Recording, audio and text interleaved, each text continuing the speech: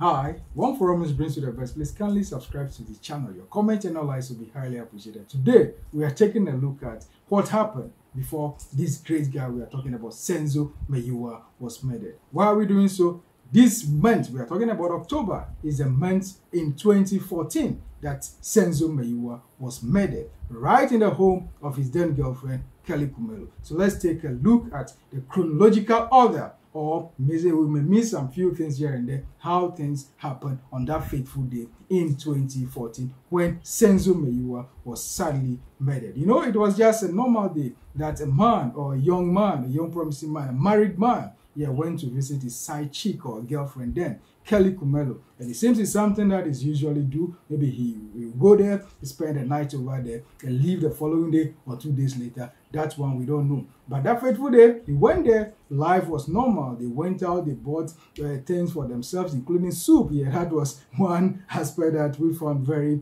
very sad. Why? Because, you know, you are with your lady. At least there should be some cooking here and there in the house that you may have your food. But at the end, they have to step out and buy soup for themselves. Maybe they want that great soup that day. They went and they bought that. They returned home safely and life was going on normally. Yes, but when it got to 9 p.m. that day, it was reported or alleged that there was a robbery. And now they are tagging it, or at a point they tag it that it was a robbery that went wrong. Yes, the court is still ongoing. We cannot prejudge what will come out from the court. The court is still ongoing, so we are leaving that aspect to the court. We will just tell you everything chronologically, or even mean some things here and there for your understanding, because we are just talking about the life of Senzo Meyiwa. Very promising guy. He was very helpful to his family. He was a breadwinner of his family. You know, when it comes to football in Africa, once you are good at what you do, you can be able to earn enough and even extend help to your family because we practice the extended family all over the place. It's these days that things are changing. So maybe he was of help to his family also. He was a breadwinner of the family. And, you know, after the death of Senzo Meyiwa, you know, there was all manner of lamentations here and there. Even the people, some people in the community that were interested in football and things, he was helping them. But unfortunately, this vibrant young man lost his life sadly in that tragic moment. So the investigation commenced. Since then, we are talking about 2014, but today, justice is yet to serve. He is in his grave and he is not yet able to get justice. So the wheel of justice is still grinding, though unfavorably. We are hoping that one day this young man will get justice and his family can also be saved and be happy. Yes, the mom is still out there. Yes, you know, 10 years after the death of your, your son, you cannot point at this so so and so person, or you cannot get rest or closure to the case. It's not an easy thing. The father died as a result of agony and sadness, and he died a sad man. Yeah, because if your breadwinner, your son that you are hoping to bury or to be alive to bury was taken down by a gun, if it's some sickness somewhere or something,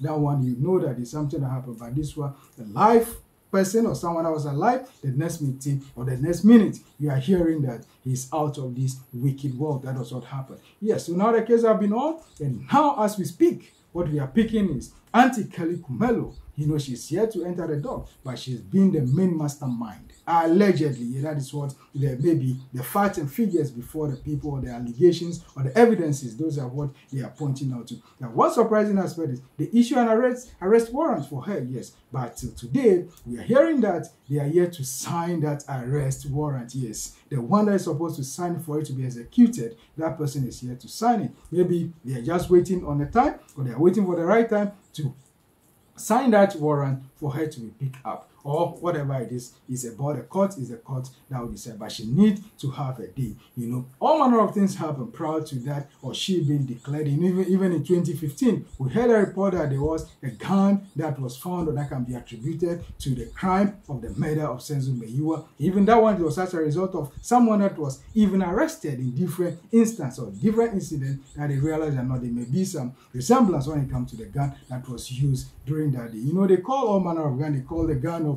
Chicco Twala also because his son was there long with Twala. His name keep on recurring, coming all the time. And one thing also is there was a report, or allegedly there was a report that some of the photos or pictures that were seen on the phone of Kelly Khumalo were also seen on the phone of Longwe Twala, who happened to be the son of Chicco Twala. Chicco wasn't at the scene, yes, that one is established. He always speak about it, and we know that. But his name keep on coming as a result of his son being present or whatever. This is an adult, so he will be dealt with as an adult. Even if, if one day he's supposed to present himself in court, he will be there as an adult and he'll be tried as a. But for the records, he's now going. He's even going under different trial as a result of theft. Yes, he went and broke into his father's home. So Longwe Tola is in that agony over there and he's awaiting trial and the process is still ongoing as this great one is also ongoing. So now, but one sad aspect is something that we realized about this whole case when the, the, the incident took place or happened.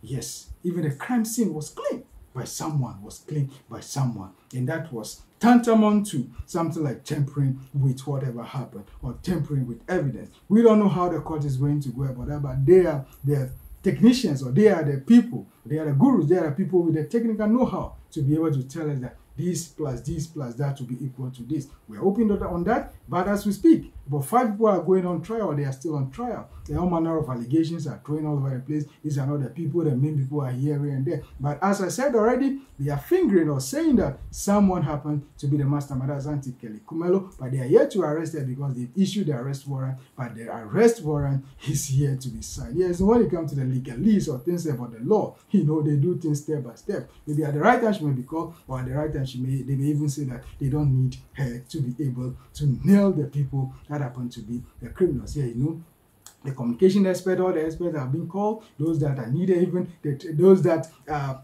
good when it comes to tracking of vehicles here because they realized that Longwe Tola was in a car that day and moved here and there. So they brought in people, all the technical people, to be able to arrive at a very good and very great conclusion. As we speak, you know the case is still ongoing. The twists and turns and things like the stories keep on changing here and there. But you know when it comes to the wheel of justice, this is how it grinds slowly. But maybe one day Senzo Meyiwa is going to get justice here. He left behind a wife that he was married to and children. We are talking about one from Auntie Kelly Khumalo and one from the other lady. Yeah, he lived a very genuine and good life, went to his girlfriend home, but at the end, though he drove into that home, he was driven out of that home in a different car, sadly, that day, or even his own car, but he was taken, he wasn't able to drive because he was hurt, and at the end, he was declared dead that faithful day. So may the life and the soul of this great guy, we are talking about Senzo Meyiwa, rest in perfect peace, but not until justice is served for him. We are praying and hoping for that because that is what we are all looking up to. Though things are going here and there, but when it comes to legalese or the legal issues, you may not be able to comprehend it, but they are driving home a point. Let's hope and pray that one day Senzo Meyiwa will get justice so that the mom at least may hear about the word justice or favorable justice for her son before if she will join her ancestors, she will do so. She's still in pain and she even stopped following the case. That is what we are picking. That is how sad it is because you can't live for so long this way, 10 years, and the wheel of justice is grinding slowly. The question some of us always ask is, if this is happening to Senzo Meyiwa, how much more you and I that is why we need to be very careful out there. If you're not supposed to be at a point at, the, at a time, don't be there. Stay at where you have to be so that you'll be safe. Please, for more about discussions and things like this, this is about the life and the story of Senzo Meyiwa. May his soul continue to rest in perfect peace. Please, for more, kindly subscribe to this channel. One Forum News for the best when it comes to security and crime, for the best when it comes to politics of Africa and historical antecedent. We'll be right here to bring you the best. Your comments and your likes will be highly appreciated. May the life and the soul of Senzo Meyiwa rest in perfect peace. Thank you so much and kindly subscribe to this channel, One Forum News. Thank you.